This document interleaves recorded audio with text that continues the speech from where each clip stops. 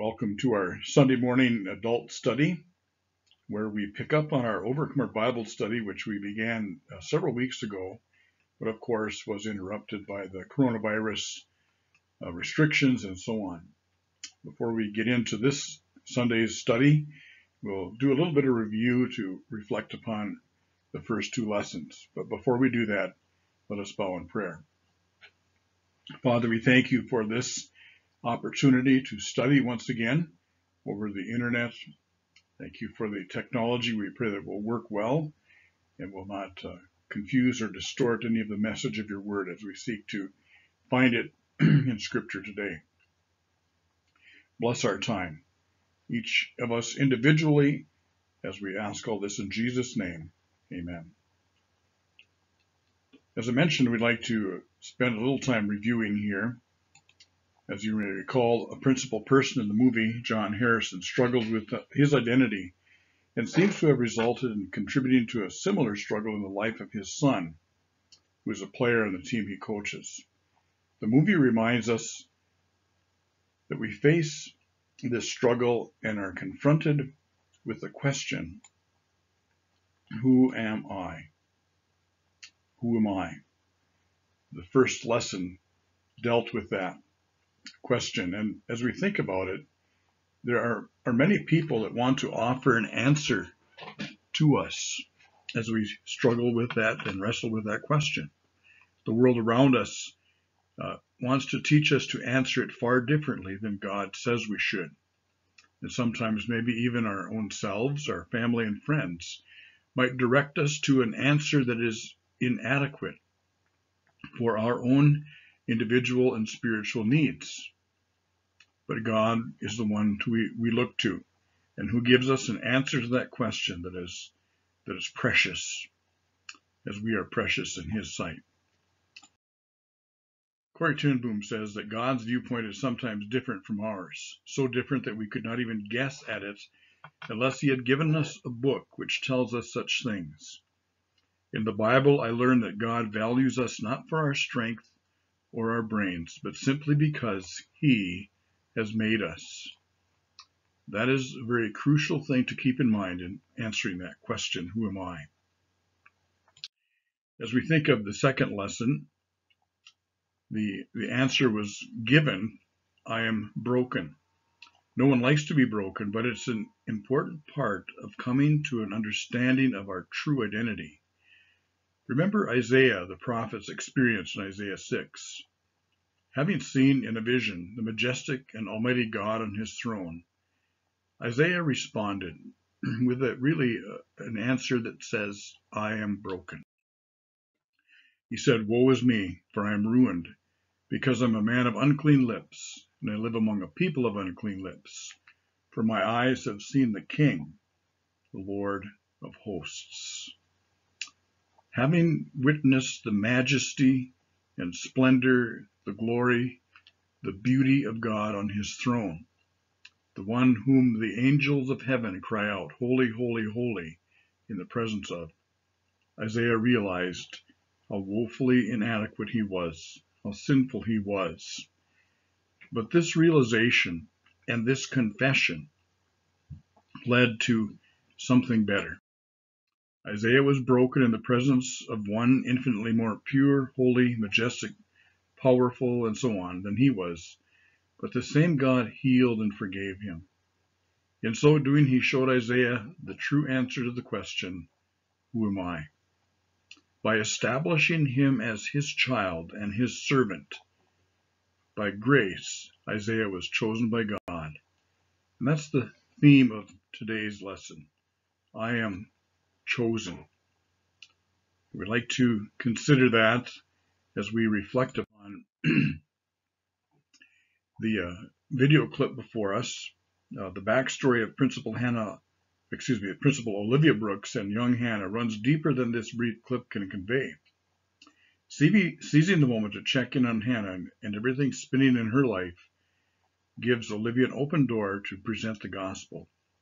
As Hannah wrestles with feelings of abandonment toward her earthly father, Olivia explains the great lengths that her heavenly father went to in redeeming her. Miraculously, Hannah receives Jesus, as we will see now in the clip as it plays. Welcome back to the Overcomer Movie Bible Study. Uh, every week we are studying clips from the movie Overcomer, and then we're talking about what God's Word says about our identity. This session is entitled You Are Chosen. In this clip, 15 year old Hannah Scott is not only struggling with her own self identity, but also with the fact that she's never really known her parents. But she's about to be introduced to a father's love. One of the reasons we picked this clip is because this simple message transforms people's lives. And one of the best ways to present it is to have to explain it to a child. You know you have another father who has always loved you. You mean God? Yeah, I do. And listen, he's not like your dad. He's a perfect father. And he wants you to know him. How do you know God? God went to great lengths to express his love for you. You've heard in Bible class how Jesus died on the cross. But do you understand why? No, not really. You were created to know him and to worship him. But we reject him when we do wrong. When we sin, that's the thing that separates us from him. So he sent his son to pay the price to get you back. And it was a painful price. But then he rose from the dead, and he made a way for you to get right with God. If you trust him, if you believe, that's faith. But he doesn't force it on you. He just offers it to you because he loves you. We've all sinned, Hannah. We've all lied or stolen or hated. But when we give our heart to Jesus, he starts cleaning it. he takes better care of it than we ever could if we'll trust him. Is that something that you'd like to do? Yes, but I don't know what to pray. Would it be okay if I led you through it?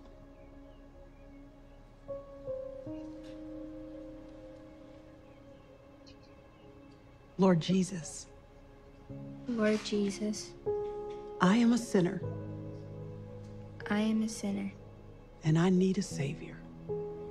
and I need a Savior. I believe that you are that Savior.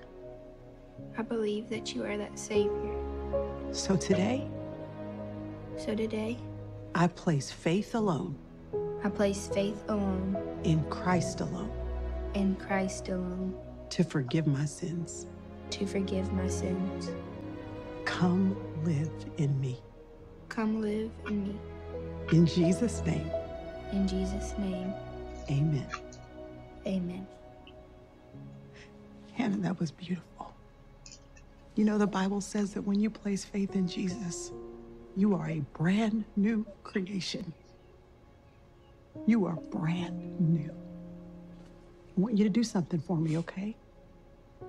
There's a book of the Bible in the New Testament. It's called Ephesians. I want you to just look at the first two chapters, read it through, and write down everything that it says you are as a believer in Christ. Can you do that? Yes, ma'am.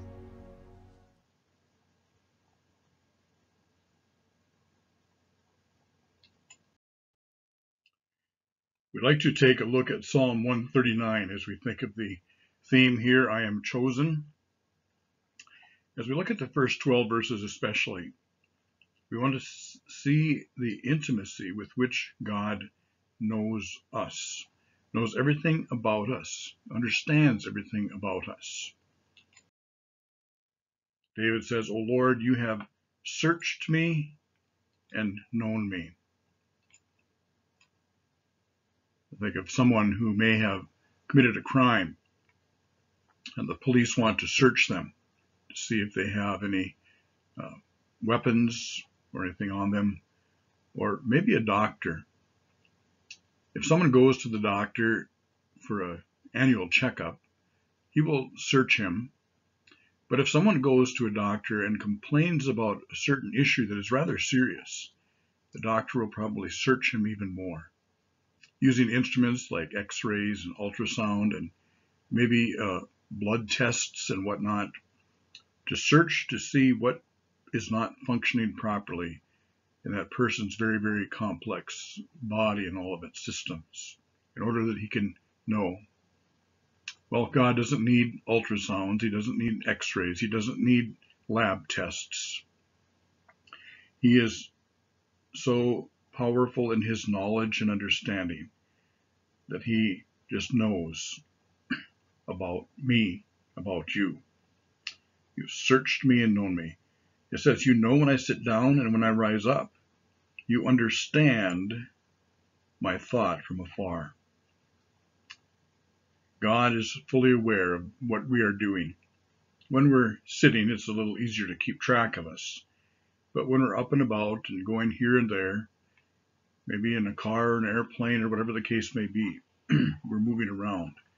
But that doesn't hinder his ability to know us, know what we're doing, even our thoughts.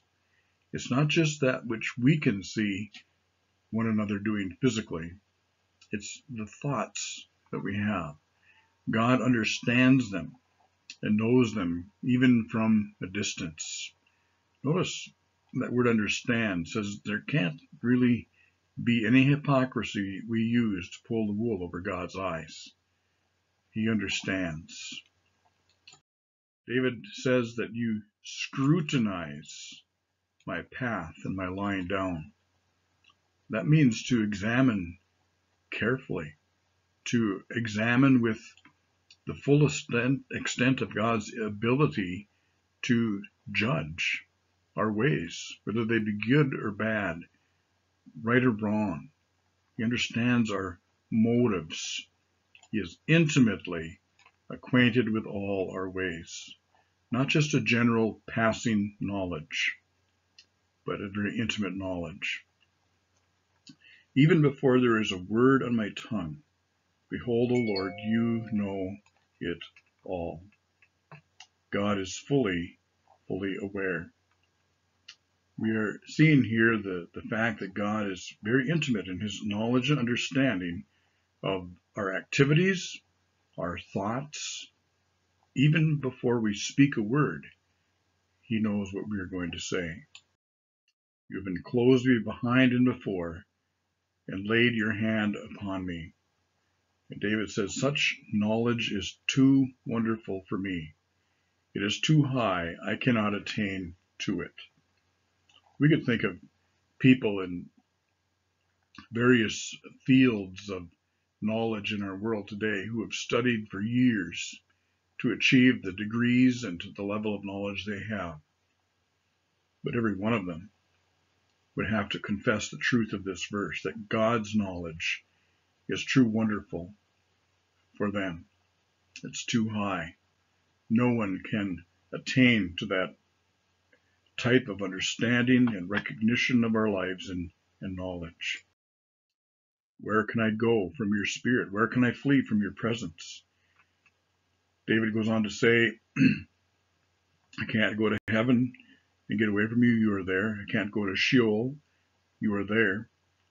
If I take the wings of the dawn, if I dwell in the remotest part of the sea, even there your hand will lead me. Your right hand will lay hold of me. God is wherever we may go. We cannot go or flee from his presence. If I say, surely the darkness will overwhelm me, and the light around me will be night. Even the darkness is not dark to you, and the night is as bright as the day. Darkness and light are alike to you. And so, even to do our activity in the secrecy of nighttime does not affect God or his ability to know or to understand what we are doing. And so, as we come to the end of this section of Psalm 139, As we think of how God wants us to answer the question, Who am I? We perhaps are wondering what kind of an answer would he help us to give to that question.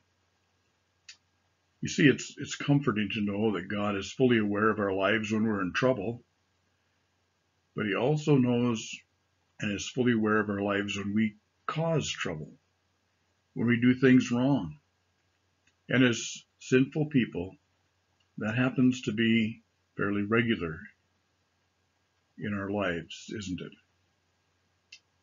And so, as I mentioned earlier, in elementary school, a captain would choose a team based upon the abilities and skills, the uh, maturity, we might say, of the other students, and leave the smaller kids till last, and maybe even hope that they didn't have to have them on the team.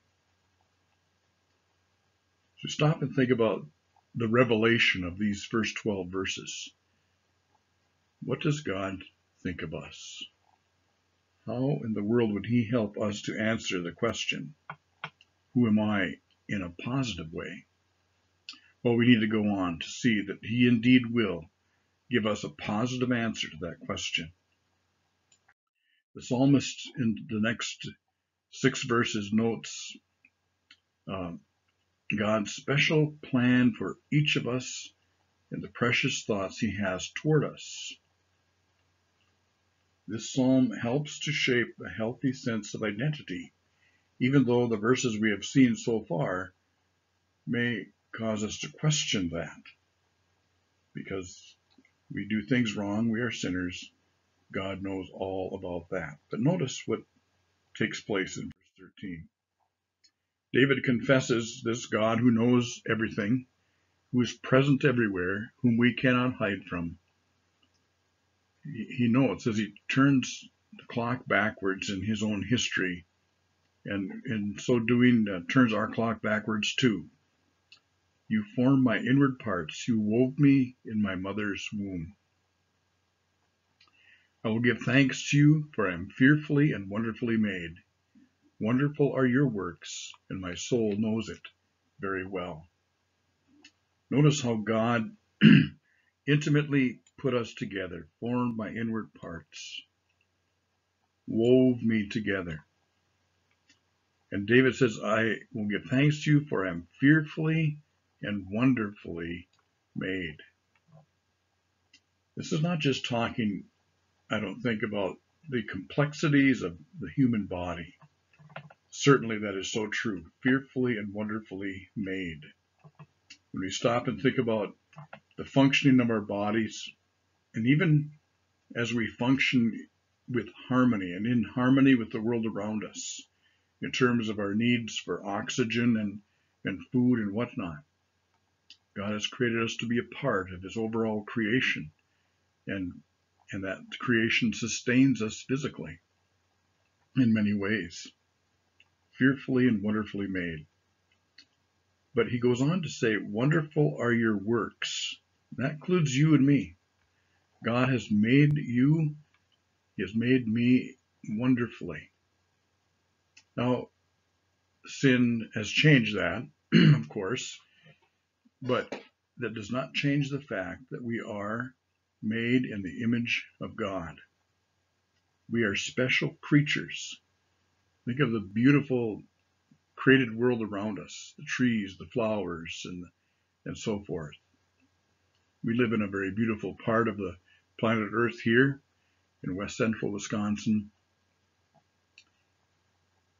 But compared to us, it is not as beautiful as, as and wonderfully made as we are, who are made in God's image. And notice here, my soul knows it very well.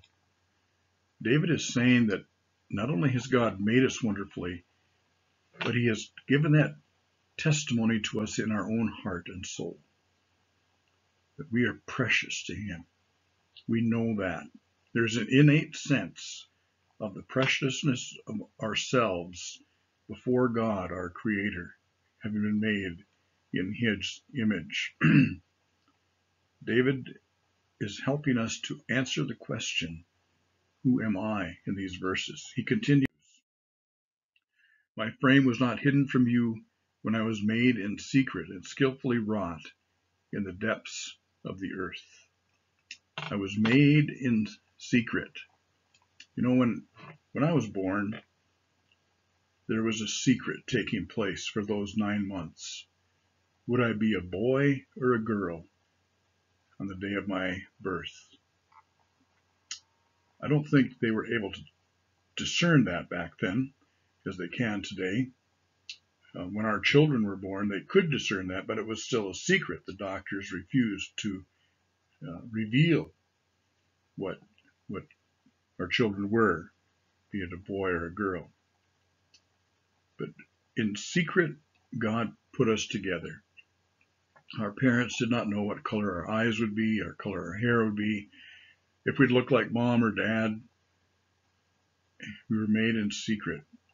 But notice David says here, skillfully wrought in the depths of the earth. Reminds me of the creation of Adam in the Garden of Eden. God made Adam out of the dust of the ground. And David says that God's eyes saw his unformed substance. I wonder if this verse isn't telling us that even in the creation of Adam, God was looking at the traits that Adam would pass on to his son. And of course, that just continues on. I've seen people set up a display of dominoes where you know how it works when they tip the one, pretty soon there's a chain reaction. You know, there's a sense where we are a part of the chain reaction of God's creation of Adam. We trace our ancestry back all the way to Adam, one generation at a time. And I, I can look at my parents and I can see things that I inherited from them in terms of my physical attributes, uh, in terms of personality and so on. But that's true all the way. They inherited from their parents and on and on. We could say all the way back to Adam. God could see the whole of his created people from the time of Adam until the last baby born into this world as we know it today. And every one was precious to him. All the days of our lives were written in his book, the ones ordained for us, before even one of them came to be. God has not just a, a special creation of us, but a special plan for our whole life. Jeremiah and the Apostle Paul testified that the Lord had set them apart for their calling as a prophet, as an apostle from their mother's womb. Well, that's true of every one of us. God had a special plan for our lives. We are beginning to get a different twist on the answer to the question, Who am I? when we look at ourselves from God's perspective. How precious are your thoughts to me, O God! How vast is the sum of them! If I should count them, they would outnumber the sand. When I awake, I am still with you. You ever sat and thought about people being absent from our grandchildren, Don and I think about them once in a while. We have pictures on the wall to remind us of them. this verse says that God's thoughts toward us, toward each one of us, is vast in their sum. They outnumber the sand on the seashore, the sand on the face of the earth. That's so much and how often God thinks about you. How much and how often He thinks about me. Now, how in the world can God think about all the billions of people on earth that much? Well, because He's God. Because He has a mind and a heart, we might say, to be able to do that. and to want to do that. We are precious. He has precious thoughts toward us. We're beginning to see God's desire for us in answering the question, Who am I? Sometimes maybe our thoughts about ourselves aren't that good. And Satan definitely wants to, to perpetuate within us thoughts of inadequacy, bad thoughts, thoughts of I'm not that good. He wants us to destroy, wants to destroy our image of ourselves, wants to create an answer to the question, who am I, that is that is totally contrary to the way God wants us to answer that question. We are chosen by Him. Not because there's something good about us, not because of our skills. We're chosen by Him because of His awesome, tremendous love for us. We'd like to turn next to the book of Ephesians as we consider that. In an earlier study, we considered what Satan did to destroy mankind's state of perfection and his beautiful relationship with his Creator. Uh, back in the book of Genesis, chapter 3. Ephesians 2 1 to 3 reflects upon that again. And you were dead in your trespasses and sins, in which you formerly walked, according to the course of this world, according to the prince of the power of the air, according to the spirit that is now working in the sons of disobedience. Among them we all too formerly lived in the lusts of our flesh, indulging the desires of the flesh and of the mind and were by nature children of wrath, even the, as the rest. You were dead, Paul writes to the believer. You were by nature children of wrath, deserving of God's wrath and punishment for sin. He's saying that's what you were. That's what we come out of. And that's what sometimes makes it a challenge for us to properly conceive of the answer, God's answer to the question, Who am I? And we stop and think about the past sin nature of our lives, the past sins, and even the sins we commit today. The devil wants us to dwell upon our failures, upon our sins, upon our unworthiness before God. Return to the next verses, I'd like to have us consider these questions. Have you ever found yourself in a situation where you said, but God? How was this attitude seen in Adam and Eve after they sinned? But God, Adam said, the woman you gave me, she, she made me do it. But God, Eve said, the devil made me do it. Or how was that attitude seen in Jonah and his sulking at the repentance of the people of Nineveh. But God, if I tell them your message, they'll repent and you will forgive them. They don't deserve that. But notice how Paul uses the words but God in a different sense and how this contributes to a healthy sense of identity. He says, but God, being rich in mercy, because of his love, great love with which he loved us, even when we were dead in our transgressions, he made us alive together with Christ.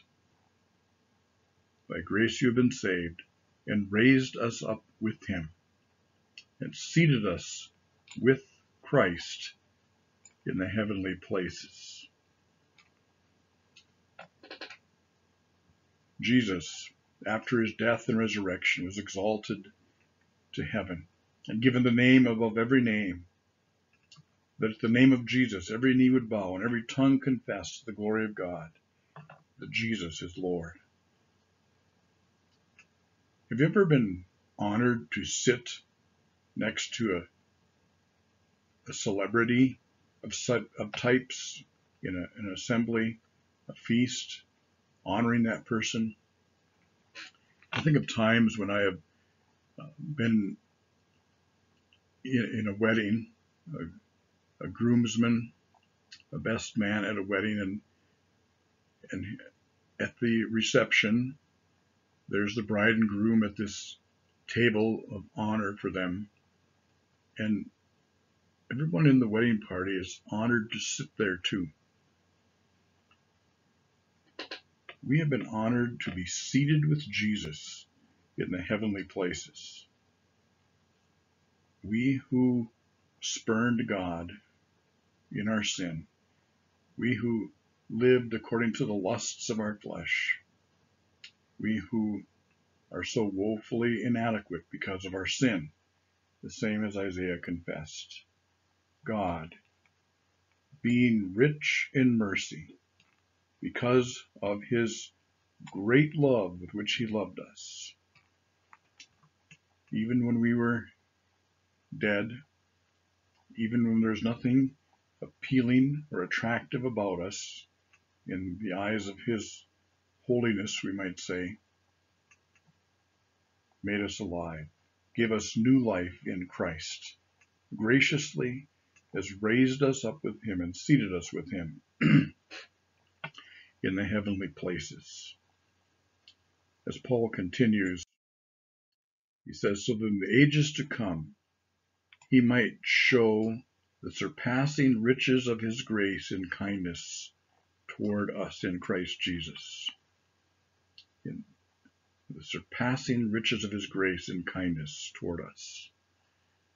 I can recall a football coach I had, and whenever a player would would do something noteworthy, he'd say, "You'll have to be sure and tell your great grandchildren about that someday."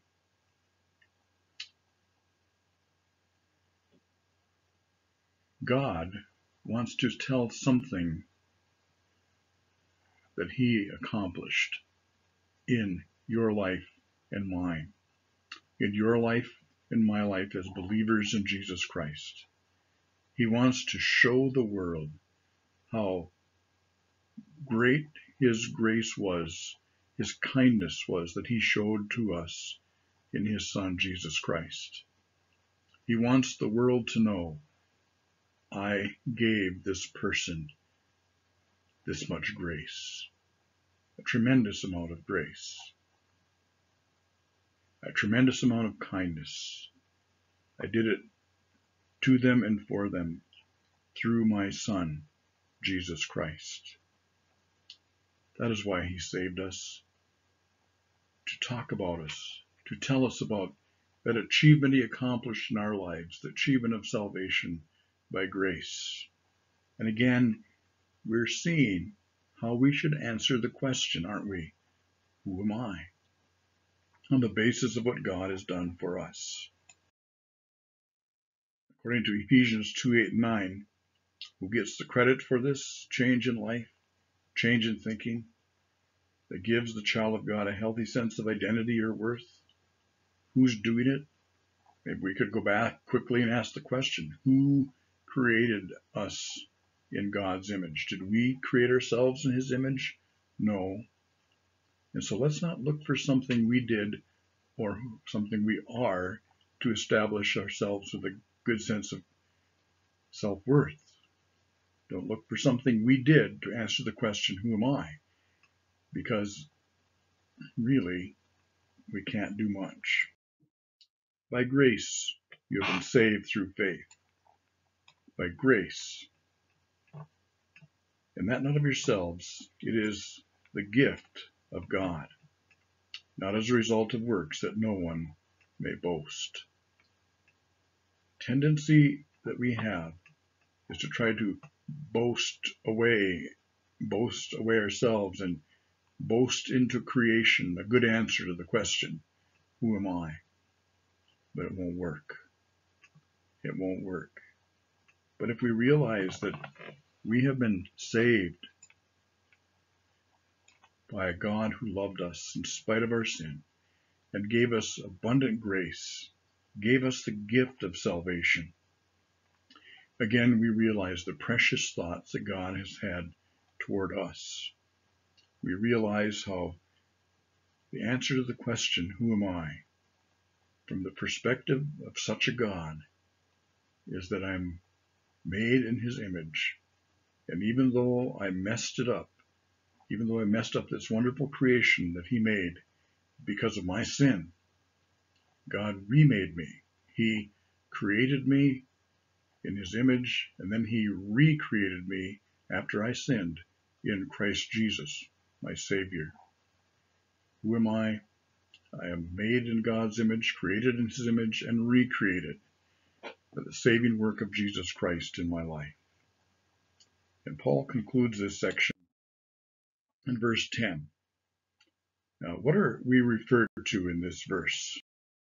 We are his workmanship, created, as I mentioned, in Christ Jesus, recreated in Christ, we might say, for good works, which God prepared beforehand that we should walk in them.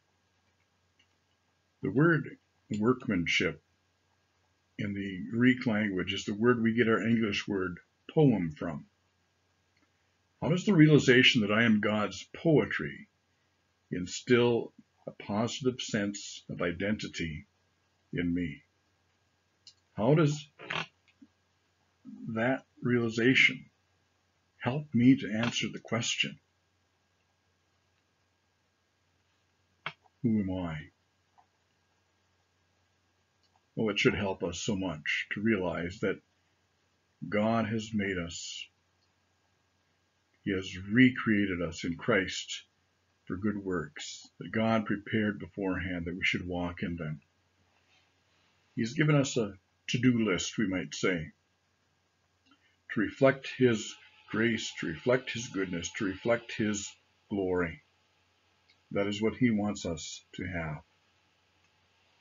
He has made us, He has written us as a poem for the world to listen to and to understand the great poetic skills that He has in creating us.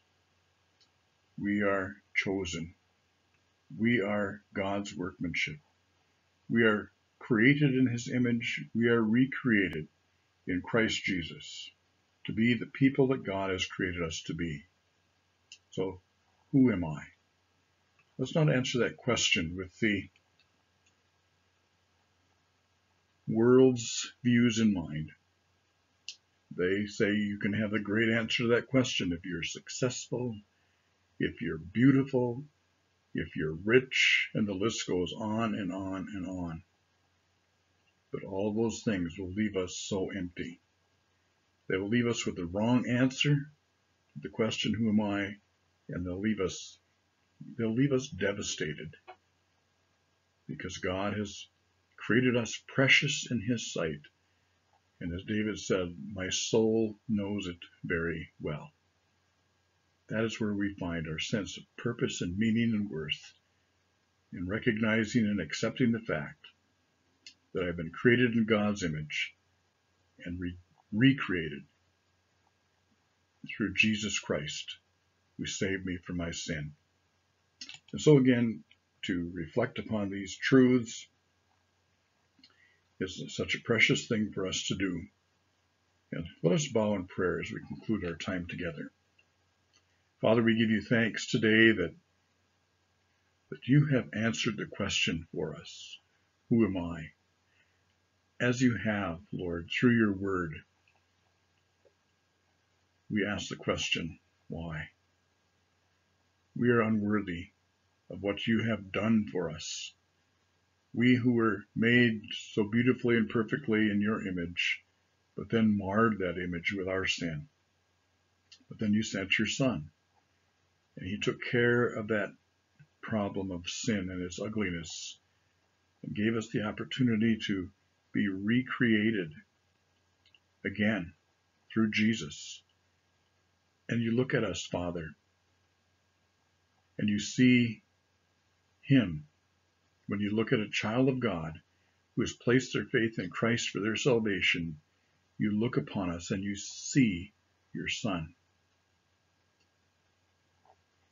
Help us to answer the question day after day, all of our life, the question, Who am I? on the basis of those precious truths. We ask all this in Jesus' precious name. Amen.